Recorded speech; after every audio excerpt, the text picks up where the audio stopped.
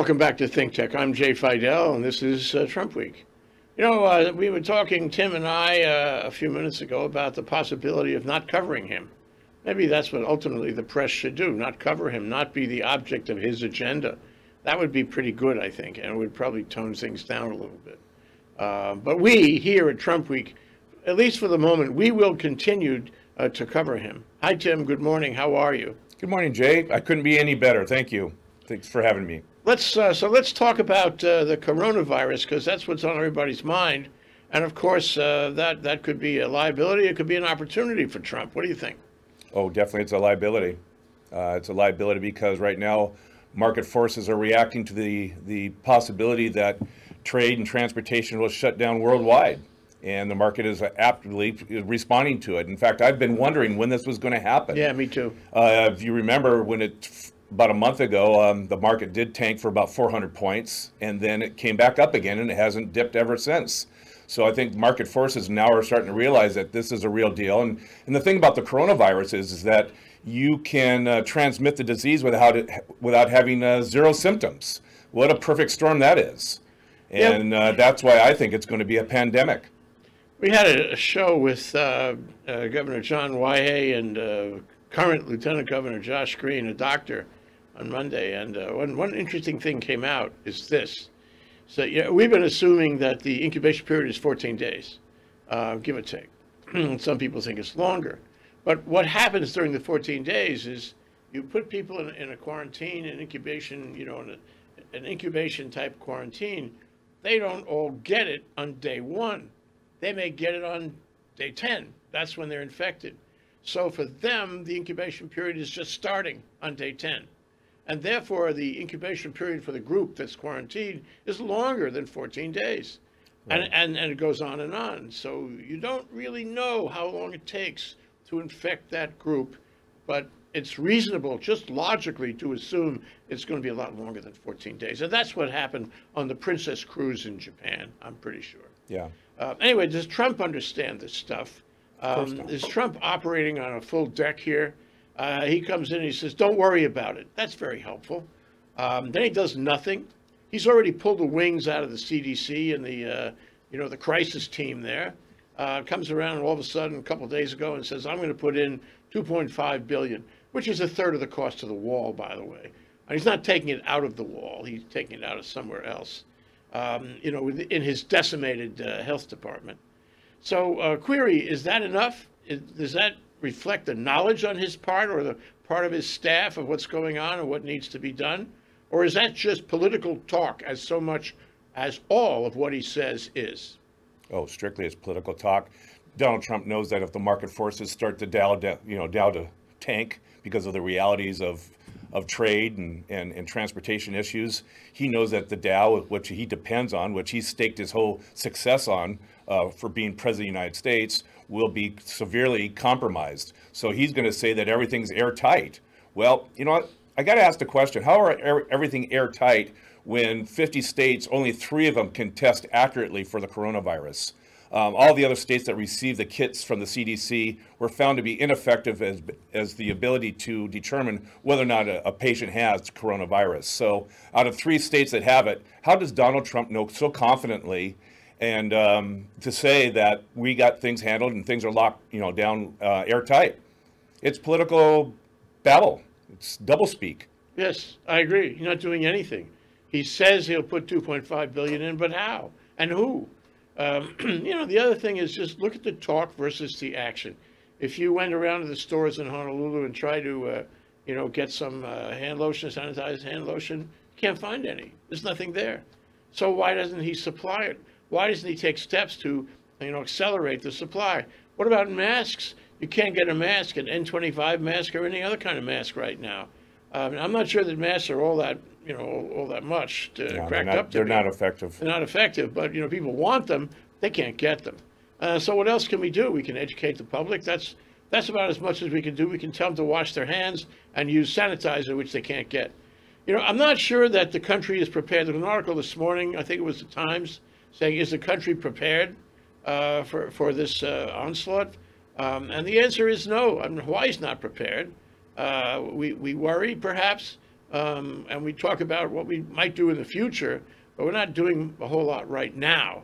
And that goes for the country in general. And that goes for Trump's country. Make America great again, but other countries are doing much better than we are.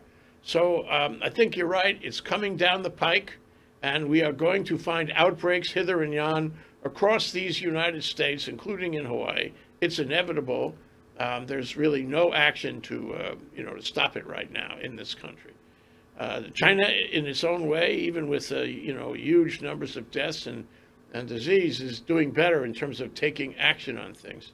The answer ultimately is probably containment more than anything else, and that requires not only a lot of you know carefully devised rules, but it re- requires compliance with those rules. Uh, we got to watch the numbers. If we watch them in China, uh, then maybe the rules that China has devised uh, will be applicable here. But right now, I think we're thrashing around.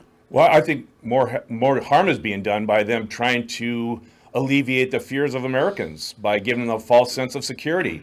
Look at um, Lawrence Kudlow and his statements trying to calm the markets down. Uh, he doesn't know the condition of this virus and, and where it's at, but he's trying to do his best to keep the markets calm. Look at um, the most recent uh, recipient of the Medal of Freedom Award, um, conservatives' favorite friend, Rush Limbaugh. If I may, I'm going to read a little quote here because what he's saying is really very detrimental to having proper um, alarm bells go off about this virus. And I'll read the following. He said this yesterday on his show. It looks like the coronavirus is being weaponized as yet another element to bring down Donald Trump. I'm dead right. And this is the coronavirus is just a common cold, folks. Well, there you have it. There you have it. Maybe the virus knows more than we think it knows. Maybe this virus was devised to bring down Donald Trump. I can see guys working in a laboratory in Wuhan uh, dev- devising a, a, a, virus for him. Anyway, okay, so that's that's number one on everybody's mind. Uh, let's go to number two. What do we got on him this week? We got, for example, we got um, his uh, uh his tweets uh, his action, his act, act, attack on the Supreme Court judges, two of them, two women, uh, Sotomayor and um, and Ruth Bader Ginsburg. He's attacking them. He's asking them to uh, recuse themselves. Is that ridiculous or, or, nauseating? I can't make up my mind. How about a combination of both? Um, it's well, you forgot the other recipe: absurd. Uh, to ask them to recuse themselves is absolutely absurd. Again, another example of Donald Trump fails to understand the Constitution, the separation of powers, and how the executive office is not the only office, that there are two other forms of government that work uh, consistently together and oppose to each other. Uh, he doesn't get it. I don't think he's ever going to get it. And if he were given another four years in, as president of the United States, he won't get that even in the next four years. Just won't get it.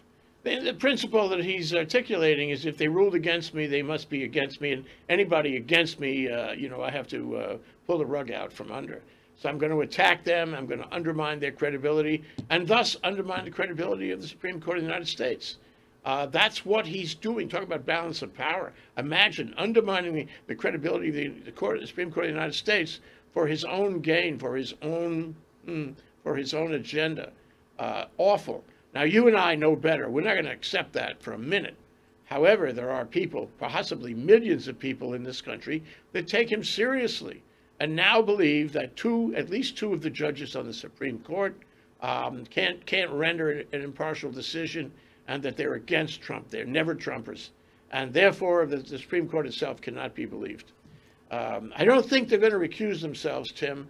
I but what he has so done is extremely detrimental, extremely damaging to the country, not just the Supreme Court, but the Constitution and the country. And we'll see more of that because he wants to. He wants to have the courts on his side.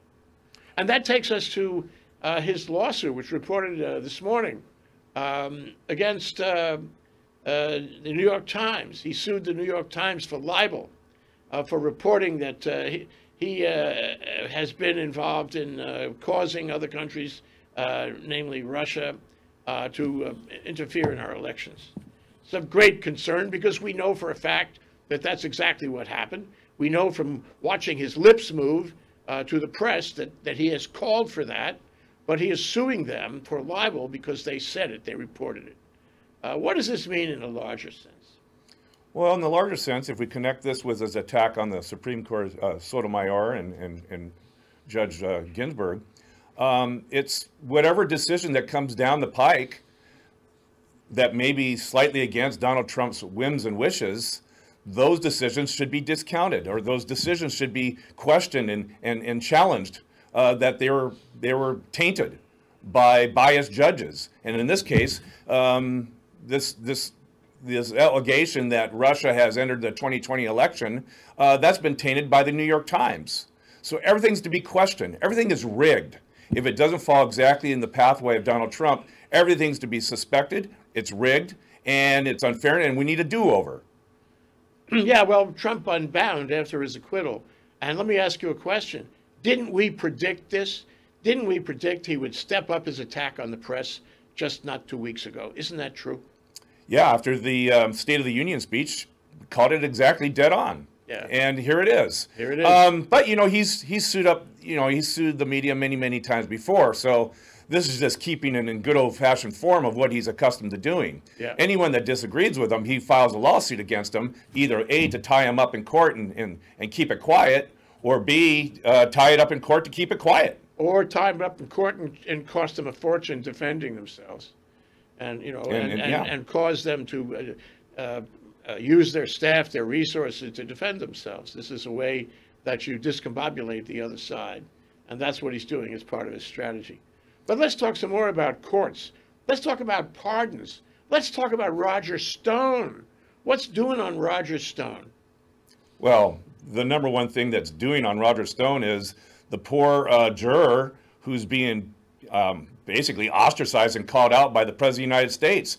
How dare he? I mean, here you have a juror who's not uh, an employee of the federal government, who isn't being compensated by the federal government, who is, like all citizens, asked to, to serve their, you know, their civic duty and, and become a juror. And the, the, again, the second that the decision against Roger Stone doesn't go to the favorability of Donald Trump, he calls out a juror and, and, and puts the juror in a, in a negative light before all his followers, many, many millions of followers. And, um, you know, right now, the judge is even concerned for the juror's safety and, and, and, and had to call that out. You know, and it's more than just intimidating the one juror.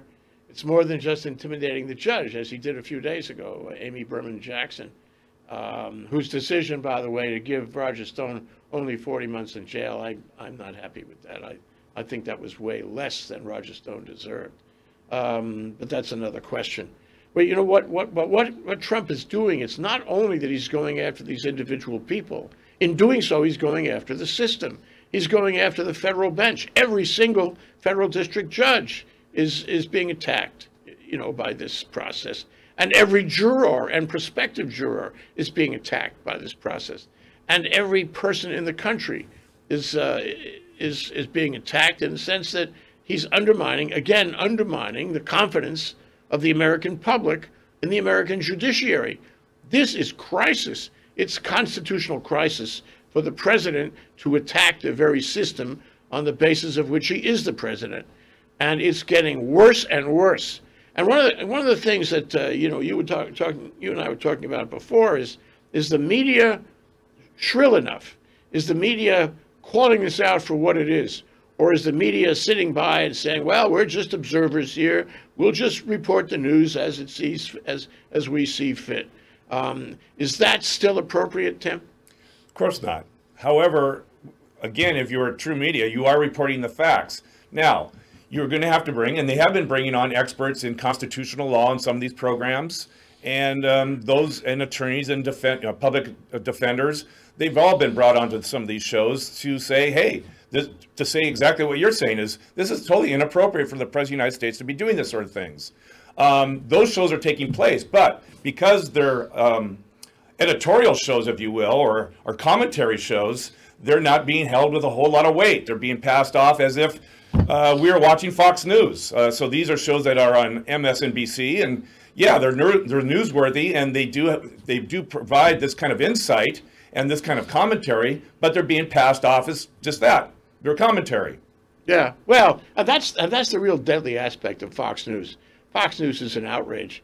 Um, but Fox News is counterbalance, arguably a counterbalance to CNBC, make that MSNBC and CNN uh, on their views. So what you get is one side is being uh, reasonably accurate, and the other side is being intentionally inaccurate. So, okay, boys will be boys. There are two sides to the question. Uh, you know, uh, some of my best friends are skinheads, that sort of thing. And, and so what you get, you know, is, is a balance that isn't a balance at all. And uh, I'm concerned that the American public sees this. A lot of people, you know, believe in uh, Fox News, Trump News, um, and, and they are not getting informed. And it's not just a matter of the facts, it's a matter of the relevance of those facts. It's a matter of connecting the dots and saying, wait a minute, this is an outrage. This is, uh, this is constitutional crisis on a daily basis. Do people understand that? I mean, how many times can you say that uh, before it gets old? The problem is that people don't understand constitutional crisis. They don't connect the dots. And ultimately, they don't realize that this is going to affect them. It's coming for them. At the end of the day, all of our lives will be impacted by what he is doing and how the government is changing and the strange policies that are coming out of his tweets.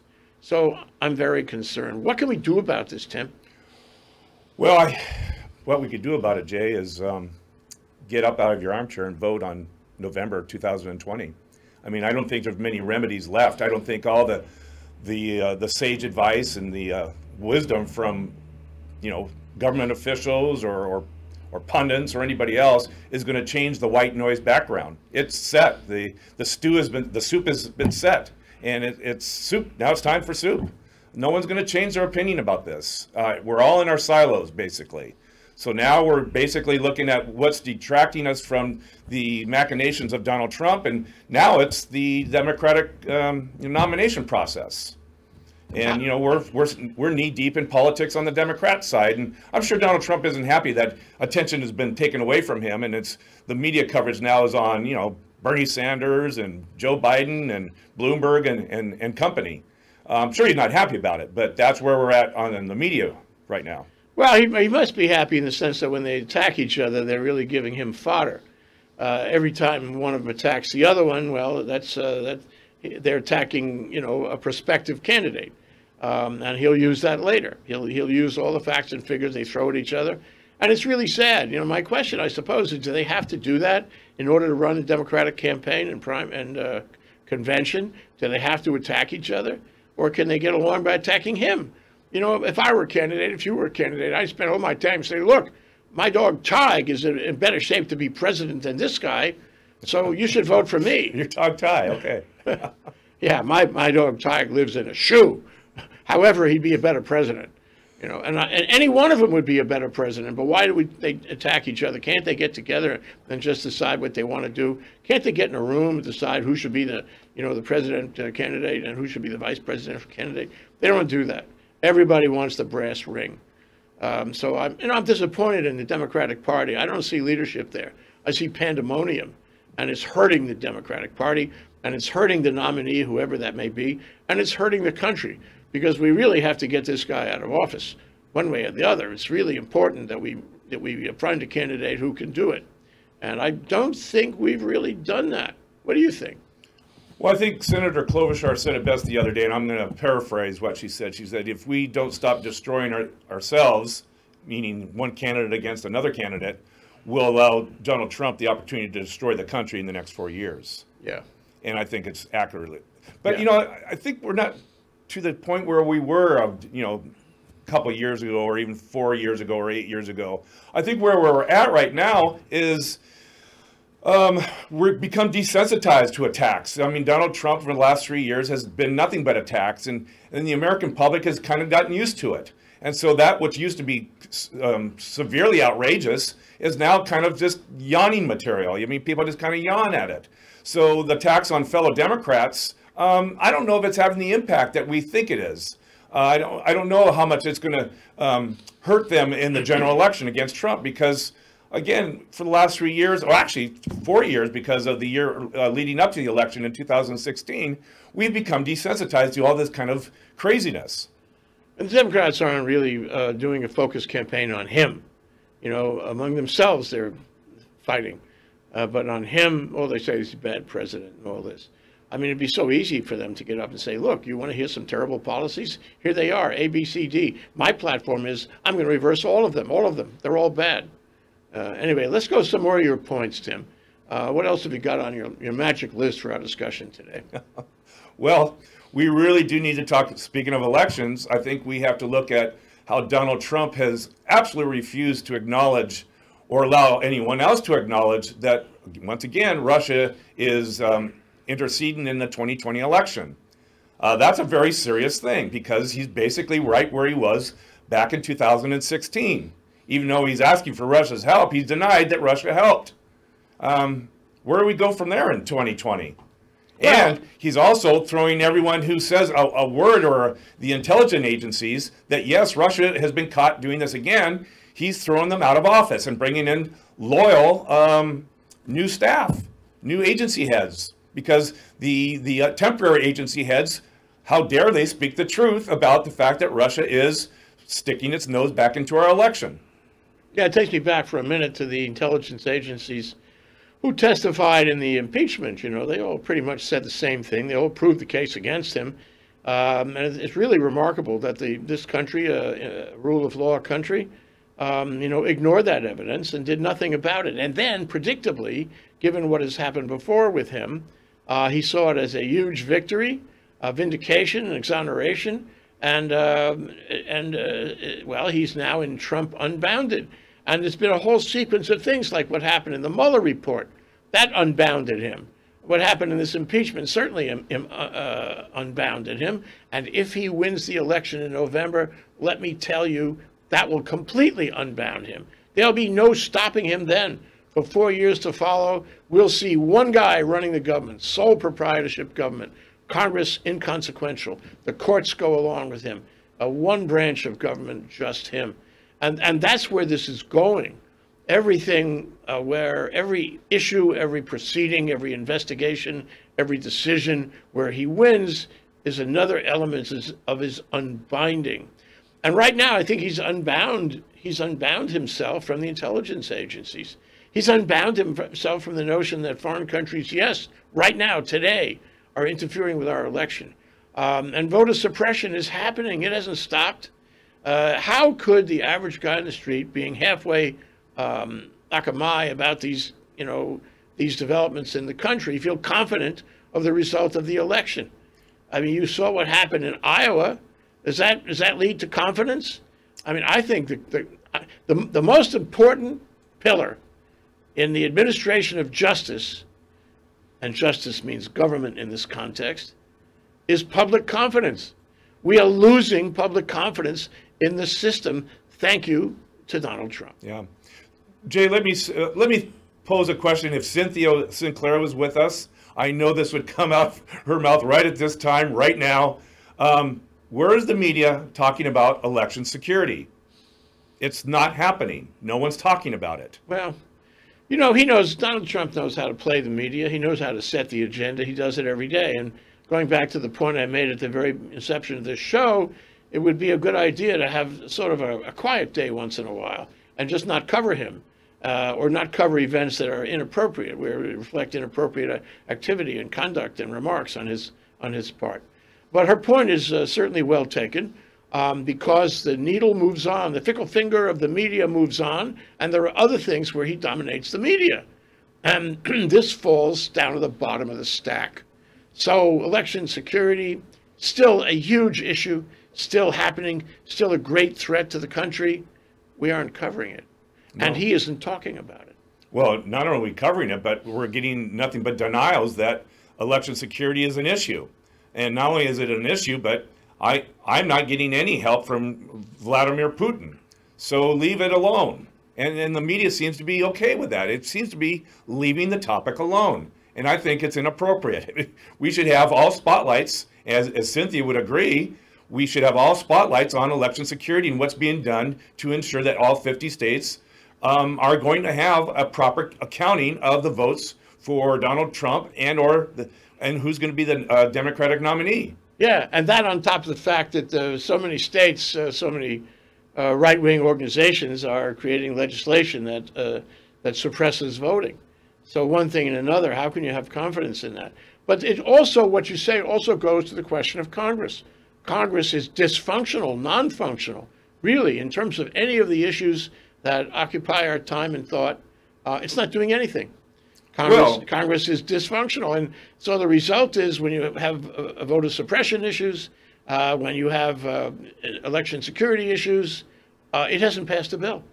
Well, yeah, if I can clarify a little bit, I mean, Congress is doing something. The House of Representatives have produced many bills for election security, and they haven't gotten off Mitch McConnell's desk. So when we say uh, Congress, let's just say Mitch McConnell hasn't done anything.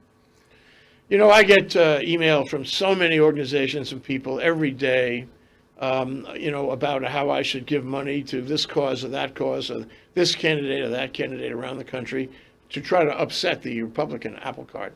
And it's very, very confusing as to which ones are legit uh, and which and which ones uh, I or anyone else getting these emails should give money to.